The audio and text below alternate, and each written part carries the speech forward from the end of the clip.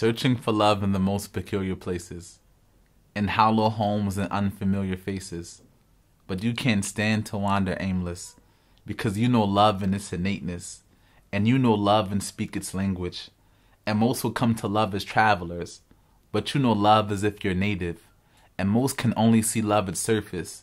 but you see love as if it's matrix, and you know Neo from the agents, and most want love just for themselves, but you know love can build a nation, so you spread love as if you're painting, and most hear love in monotones, but you know each and every cadence, and most will come to love in hurry, but you know love requires patience, and though love may keep you waiting, you know love it's on its way in, for love is always coming, even when it comes in paces.